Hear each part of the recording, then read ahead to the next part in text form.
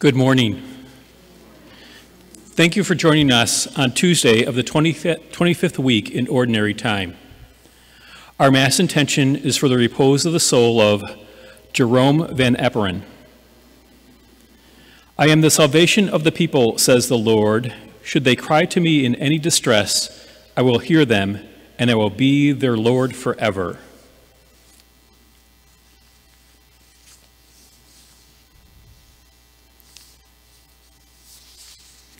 In the name of the Father, of the Son, of the Holy Spirit, Amen. the grace of our Lord Jesus Christ, and the love of God, and the communion with the Holy Spirit be with all of you. And with your spirit. My sisters, my brothers, let us acknowledge our sins and so prepare ourselves to celebrate the sacred mysteries. You were sent to heal the contrite of heart. Lord, have mercy. Lord, have mercy. You came to call sinners. Christ, have mercy. Christ, have mercy. You are seated at the right hand of the Father to intercede for us. Lord, have mercy. Lord, have, have mercy. May Almighty God have mercy on us, forgive us our sins, and bring us to everlasting life. Amen. Let us pray.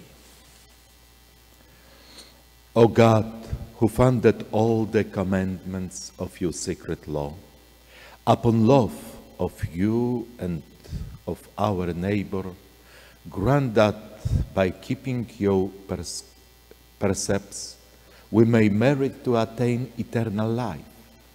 Through our Lord Jesus Christ, your Son, who lives and reigns with you in the unity of the Holy Spirit, one God, forever and ever. Amen.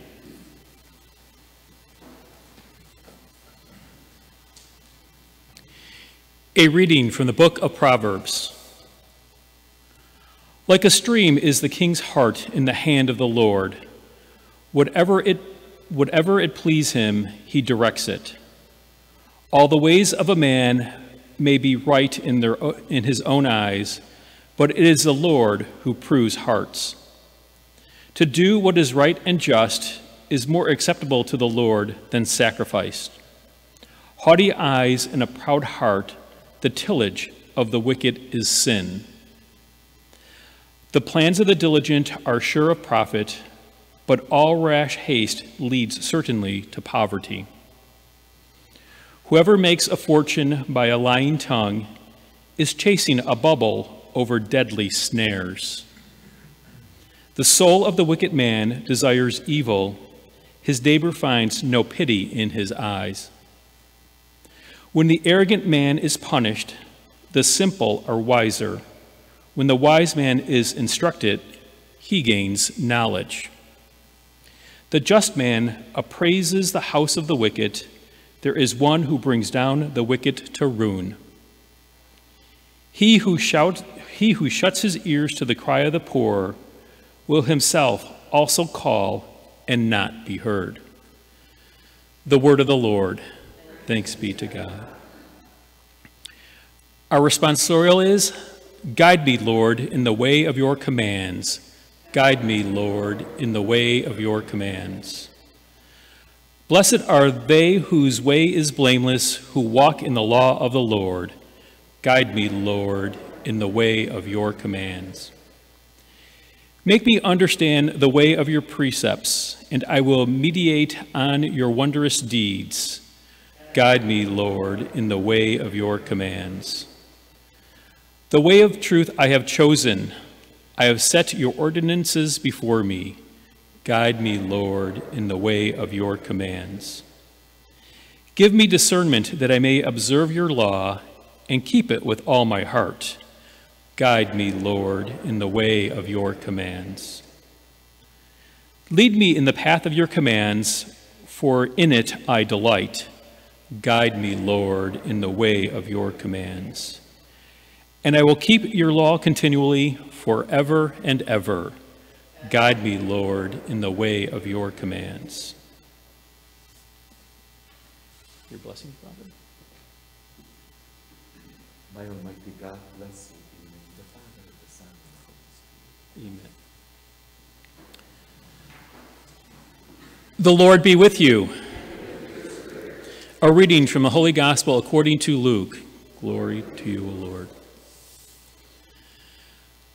The mother of Jesus and his brothers came to him, but were unable to join him because of the crowd.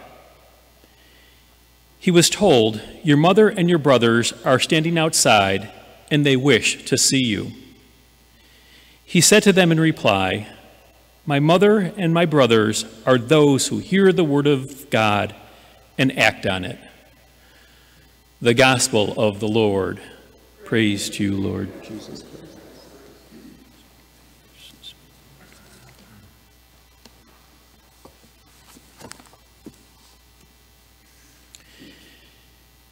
In today's first reading from Proverbs, we are reminded about living life wisely. A broad set of sayings that are attributed to Solomon are provided and include doing what is right and just, being humble, being diligent, being honest, the value of taking instruction, and so forth. Although all provide great advice, the last line in today's reading seems most relevant to our time. He who shuts his ear to the cry of the poor will himself also call and not be heard. We live in troubling times with the COVID 19 pandemic, racial injustice, and the seeds of division being sown by those who should unite. It is easy to get discouraged and just shut others and their opinions out. It's easy to think it's about me, not we. While it is easy, it is not right. We are reminded of the importance of hearing, of listening, and of understanding those in need. This is a time in which we need to get beyond the narcissism and focus beyond the narcissisms and focus on understanding those who are suffering. Once we empathize with those who are suffering, what next? The gospel provides insight. Jesus is in a crowd when is he, told, when he is told that his mother and brothers are outside and trying to see him. He responds by saying, My mother and my brothers are those who hear the word of God and act on it. Now, Jesus is not negating the importance of his family, but instead is likely emphasizing a new set of relationships found in Christ. The basis of these relationships is hearing God's word and acting on them. Those who do so are his family. So, we not only hear the cry of the poor, but we need to, to, do something about it. What we do is up to us, but I have to believe it means more than just reflecting on the suffering of the poor. It means doing things to alleviate their suffering. It means taking action that is right and just possibly spending time with those needing companionship, donating to an agency that provides necessary services to those in need, or getting out to vote for candidates whose platforms reflect the teachings of Jesus. And if you are still struggling to determine how best to act on the Word of God, there is no better model than Jesus himself.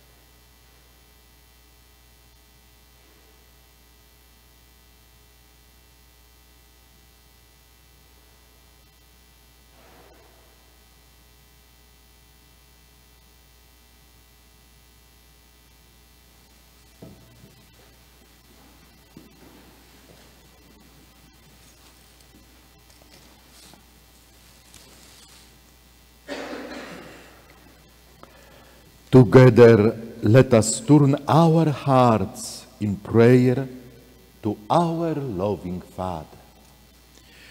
For the faithful throughout the world, may the Lord increase in us the virtues of faith, hope, and charity. Let us pray to the Lord. Lord, hear our prayer. For policymakers, may the Holy Spirit inspire them in working for the common good. Let us pray to the Lord. Lord, hear our prayer. For all who are burdened by the need for safety, shelter, and sustenance, let us pray to the Lord. Lord, hear our prayer. For our parish family, may the Lord strengthen our identity as one family in Christ. Let us pray to the Lord. Lord, hear our prayer. For our beloved dead, may the Lord welcome them to the eternal joy of heaven. Let us pray to the Lord. Lord, hear our prayer. For Jerome Van Epperen, for whom this Mass is especially being offered, let us pray to the Lord. Lord, hear our prayer. For the prayers and petitions in our parish book of intentions, and for those we hold in the quiet of our hearts,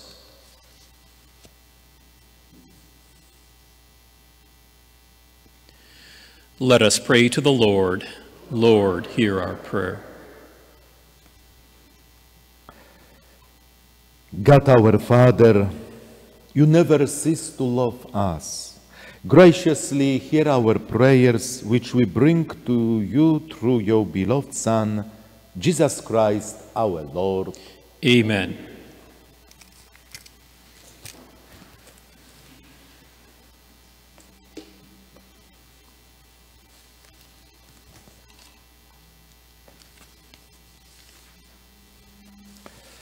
Blessed are Lord God of our creation, for through your goodness we have received the bread. We offer fruit of the earth and work of human hands.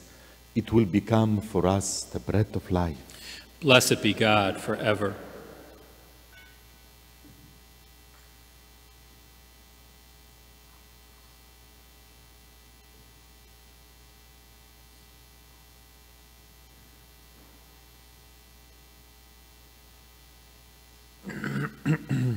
Blessed are Lord God of our creation, for through your goodness we have received the wine. We offer fruit of the vine and work of human hands. It will become our spiritual drink. Blessed be God forever.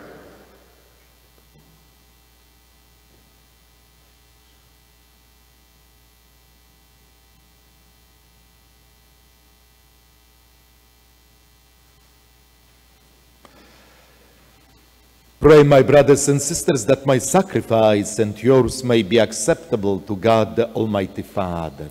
May the Lord accept the sacrifice at your hands for the praise and the glory of his name, for our good and the good of all his holy church. Receive with favor, O Lord, we pray, the offerings of your people, that what they profess with devotion of faith may be theirs through these heavenly mysteries, through Christ our Lord. Amen.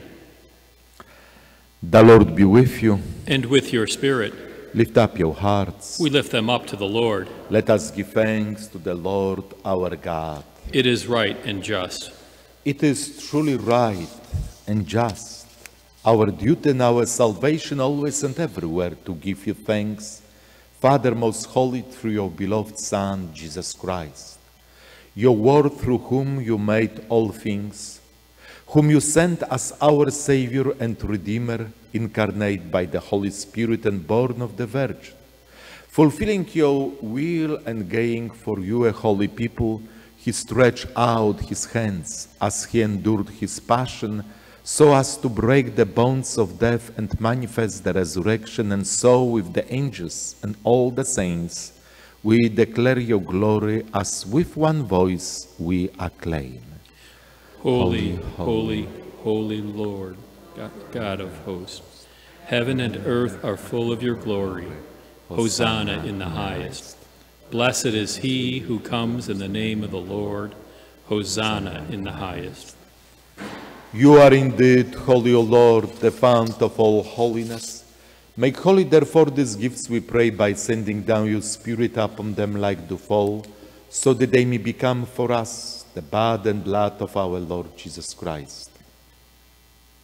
At the time he was betrayed and entered willingly into his passion, he took bread and gave him thanks, broke it and gave it to his disciples, saying, Take this, all of you, and eat of it, for this is my body which will be given up for you.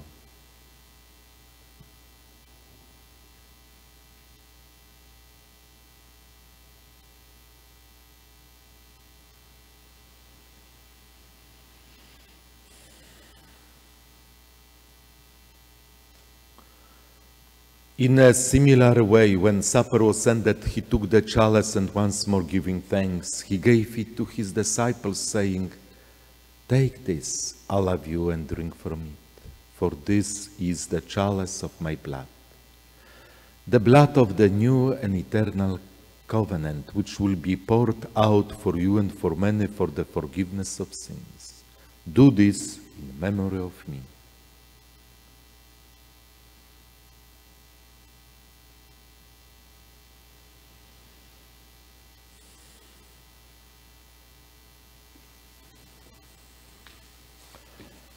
The mystery of faith. We proclaim, Proclaim your death, O Lord, and profess your resurrection until you come again. Therefore, as we celebrate the memorial of his death and resurrection, we offer you, Lord, the bread of life and the chalice of salvation, giving thanks that you have held us worthy to be in your presence and minister to you. Humbly we pray that partaking of the body and blood of Christ, we may be gathered into one by the Holy Spirit. Remember, Lord, your church spread throughout the world and bring her the fullness of charity. Together with Francis, our Pope, bless our Bishop and all the clergy. Remember also our brothers and sisters who have fallen asleep in the hope of the resurrection and all who have died in your mercy. Welcome them into the light of your face. Have mercy on us all, we pray, with the Blessed Virgin Mary, Mother of God, with Saint Joseph, her spouse, with the blessed apostles and all the saints who have pleased you throughout the ages, we may merit to be coheirs to eternal life and may praise and glorify you through your Son, Jesus Christ. through him, with him, in him. O God, Almighty Father, in the unity of the Holy Spirit, the glory and honors yours forever and ever. Amen.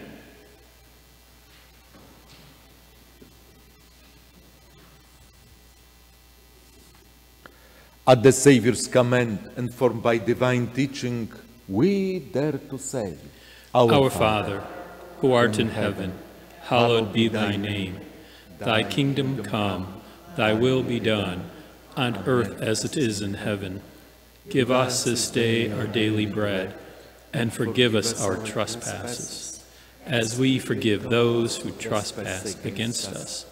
And lead us not into temptation, but deliver us from evil. Deliver us, Lord, we pray, from every evil and graciously grant peace in our days, that by the help of your mercy we may be always free from sin and safe from all distress as await the blessed hope and the coming of our Savior Jesus Christ.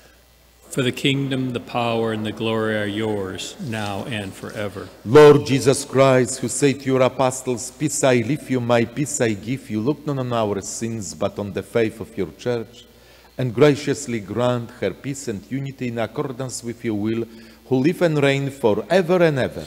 Amen. The peace of the Lord be with you always. And with your spirit. Let us offer each other the sign of peace. Peace be with you. Peace with you. Peace be with you. God bless you. Lamb, Lamb of God, you take, away the sins, of the world. Have, Have mercy, mercy on on us. You take, you take.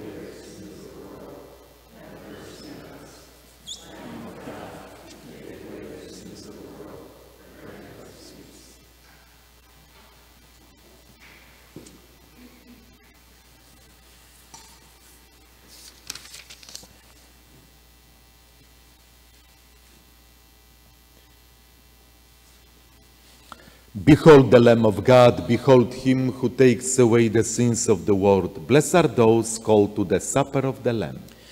Lord, I am not worthy that you should enter under my roof, but only say the word, and my soul shall be healed.